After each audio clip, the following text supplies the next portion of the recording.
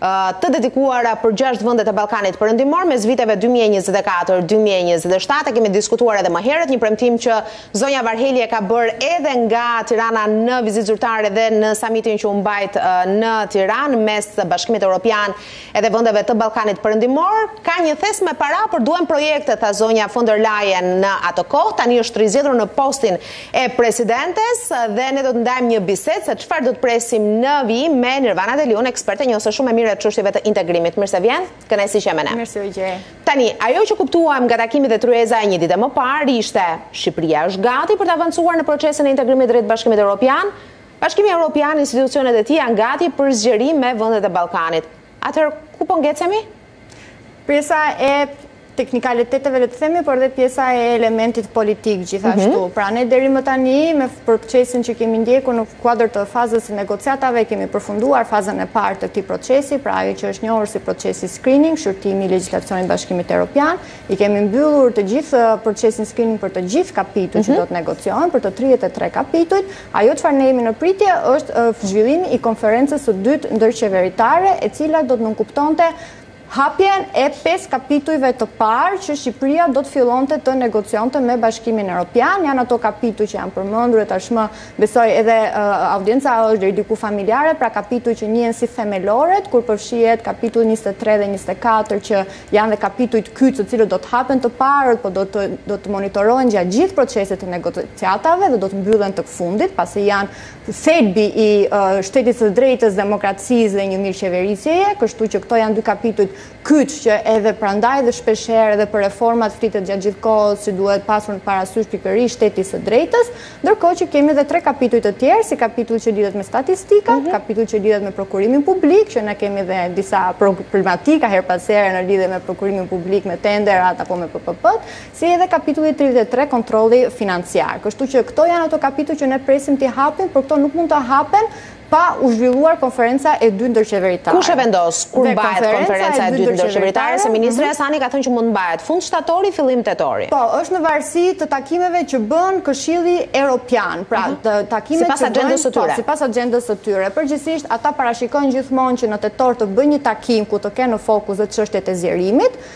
kështu që në këtë takim do duhet që të gjitha vendet e Bashkimit Europian, pra të gjithë liderët e Bashkimit Europian të jenë po dhe të thonë po për ta zhvilluar këtë konferencë të dytë ndërqeveritare. Ne kemi pritur që ta zhvillonin vitin që kaloi, po për shkak të vetos greke dhe për shkak të një joje që morëm nga nga Greqia, jemi vonuar dhe jemi tashmë në këtë pikë që jemi akoma në pritje të të Por çfarë kemi bërë ne nga korriku dy mijë e njëzet e dy kur u mbajt konferenca e parë?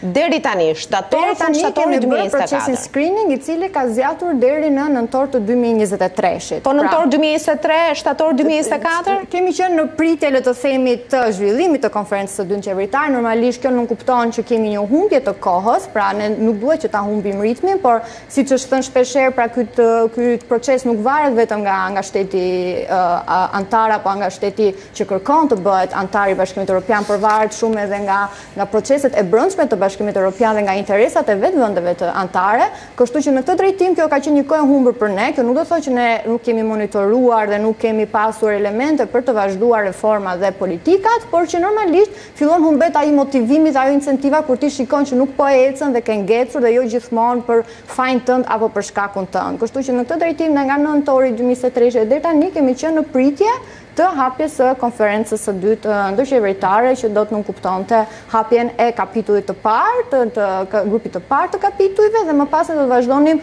punën për të hapur grupimet e tjera, pasi ajo çfarë është e rëndësishme të kuptohet është që nuk është e detyrueshme që ne ta hapim këtë grup kapitull dhe ta mbyllim që të hapim grup kapitullin e dytë. Neve mund të vazhdojmë procesin për të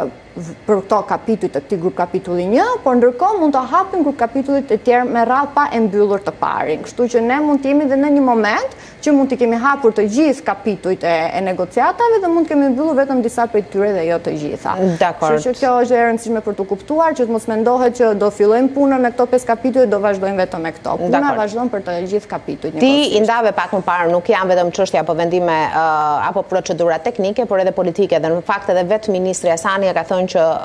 po punohet që pengesat politike të mos ndërhyjnë në axhendën teknike. Marrëdhënia me Greqinë pas vetos së një viti më parë është tani disi më e shtensionuar pas ripërsëritjes së zgjedhjeve në Himarë, Alfred Beleri tashmë është zgjedhur eurodeputet. Pra, mendon që mund të ketë një lehtësim Duhet parë shumë se sa kemi punuar dhe ne dhe sa kemi lobuar dhe neve për të bindur, si të thuash, Greqinë që të mos na vendosi këto sanksione apo mos na nxjerri këto veto. Pastaj mos harrojmë që ne për momentin po shikojmë Greqinë, por ne nuk e dimë se çfarë shteti tjetër anëtar mund të ketë ndonjë pakënaqësi dhe mund të nxjerri gjithashtu një veto. Ne për momentin njohim Greqinë që mund të jetë një rrezik potencial, por nuk e dimë se janë njëzet e shtatë shtete anëtare dhe Secili ka të drejtë që në çdo vendimmarrje që merret në kuadër të zgjerimit të vendosi veton e tij për një arsye të caktuar që normalisht do të duhet të lidhet me procesin e zgjerimit. Edhe vetë Greqia në veton e saj e artikulon që ne kemi problematike çështjet e të drejtave të njeriut, çështjen e minoriteteve që bën pjesë në kapitullin e themeloreve. Kështu që, si të thuash, argumentimin ata e kanë gjetur pse po e ndalojnë këto. Pra e tejkalojnë pjesën shumë speciale apo personale që lidhet me Belerin, por e trumpetojnë si një problematikë që lidhet me të drejtat e minoriteteve në Shqipëri. Pastaj sa ka bazë kjo, sa bazohet kjo në vlerësimet që bën Komisioni për ne, kjo pastaj është një element tjetër, por në fund të ditës janë ato shtetë anëtare që vendosin dhe nuk është se ka ndonjë Vlerësim të thuash që Gjermania është më e rëndësishme se Greqia dhe një shtet shumë i vogël ka të drejtën e vetos dhe ka të drejtën e peshës së tij dhe të zërit të tij, kështu që për këtë ne duhet të punojmë pak më shumë që të mos kemi këto pengesa që ndonjëherë nuk janë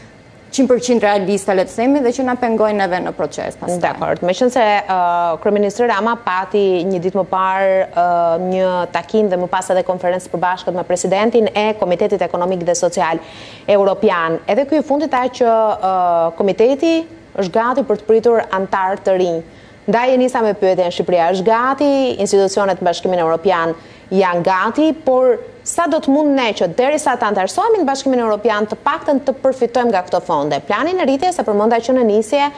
për të kemi diskutuar vazhdimisht edhe kur samiti mes BE-së dhe Ballkanit Perëndimor është mbajtur edhe në Tiranë. Sa kemi marrë dhe sa presim të marrim? Në fakt është një problematikë, një dilemë fakt që e ka pasur dhe vetë BE-ja, pra BE-ja e shikon që nga njëra anë kërkon që ta shtyjë procesin, nga ana tjetër procesi ngadalësohet apo mbetet në vend për shkak të këtyre arsyeve që thamë, pra për vetot e ndryshme që kanë dalur dhe kjo më pas çon në një lodhje apo në një zhgënjim nga ana e vendeve aspiruese për të vazhduar më tej për reformat, shikojmë nga ana tjetër që disa vende për shembull si Maqedonia e Veriut po e humbet fare besimin tek procesi, pasi e shikon që ka bërë deri tani shumë ndryshime, ndryshimin e emrit, ndryshimin e statusit e gjëra të tilla dhe përsëri nuk ka një proces. Kështu që në këtë drejtim, ajo çfarë është diskutuar shpesh herë tani dhe në Bashkimin Europian është që të fillojmë një integrim gradual. Pra le të mos jetë një integrim pra që fillojnë shtetet aspirante të fillojnë ta kuptojnë që tani çfarë do të thotë të jesh anëtar i Bashkimit Europian, duke qenë si fillim një vëzhgues dhe duke marrë disa përfitime graduale. Kjo po ndodh për shembull me Komitetin Ekonomik, Europian dhe Social, ajo është një strukturë në fakt e insti, e Bashkimit Europian dhe është e vetmja strukturë që përfshin dhe aktorë të shoqërisë civile në proces. Pra në procesin e vendimmarrjes një rol të rëndësishëm kanë dhe aktorët e shoqërisë civile dhe për vetë BE-në dhe për vetë Komisionin, aktorët e shoqërisë civile por dhe aktorë të tjerë jo shtetërorë që ata i cilësojmë, pra siç mund të jetë biznesi, mund të jetë media, mund të jetë akademia, duhet që të përfshihen në gjithë këtë proces të madh që është procesi i integrimit europian dhe i vendimmarrjes. Në këtë drejtim, për herë të parë, edhe aktorë të shoqërisë civile apo edhe sindikata, pasi përfshihen tre grupe të ndryshme në në këtë në këtë komitet, pra shoqëria civile, mhm. janë sindikatat e punë e punëmarrësve dhe gjithashtu edhe unionet e punëdhënësve. Kështu